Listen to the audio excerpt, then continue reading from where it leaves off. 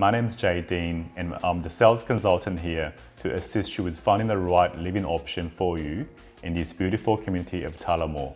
Tullamore spans across 47 hectares with more than 20% of the community dedicated to open green spaces. This outstanding residential neighbourhood sits nestled in the highly sought after suburb of Doncaster. Located 17 kilometres east of Melbourne CBD, Doncaster offers leading retail including Westfield, education and transport hubs.